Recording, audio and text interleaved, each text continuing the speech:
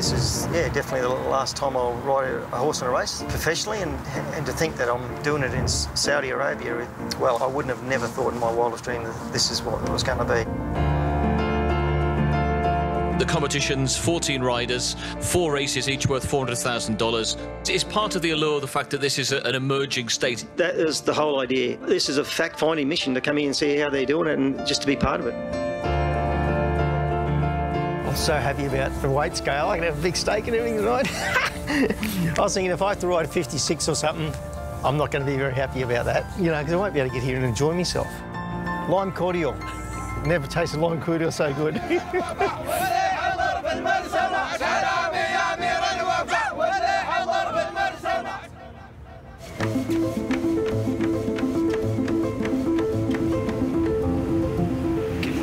my shoulder going. It's got a lot of, well, I've got plates and screws in my shoulder, so that's just getting that movement back in there.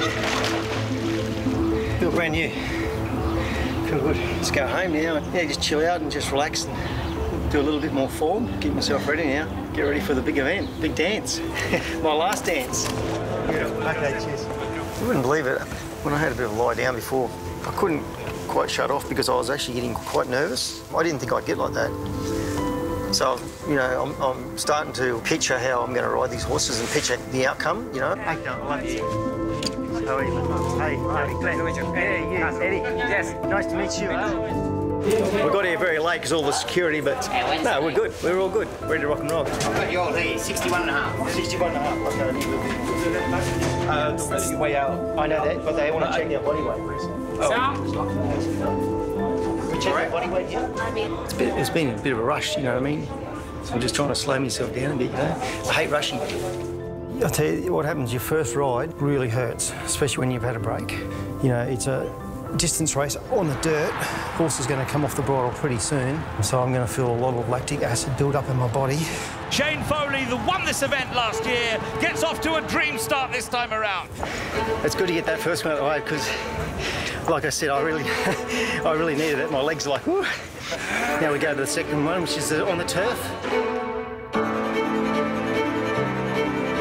Glen Boss getting a finish now out of right head in the pink colours. Watch him go on the wide outside. Here comes 52-year-old Glen Boss on right head, powering past a lot of them here.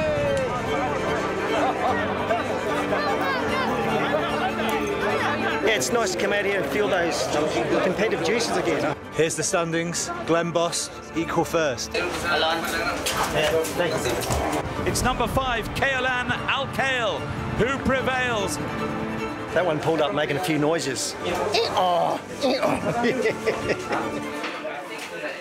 It was never going to run good, and it ran up to what I thought it would run. It ran last, so that was my weak link in the night. So um, that's fine.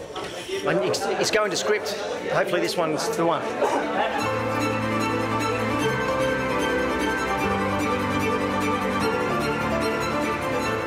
The final and decisive leg of the STC International Jockeys Challenge. He gave me a great ride. I felt like I was a winner at the top of the stretch, but unfortunately, he pulled up really lame after the race, and he, he struggled to walk back to the enclosure. So uh, anyway, Aussies, Aussies have done it. It's good. Caitlin Jones on 25 points, and we've had Australia first, Australia third. You are definitely retired again this time. Yeah, um, yeah, this will do me. Uh, yeah, this will do me.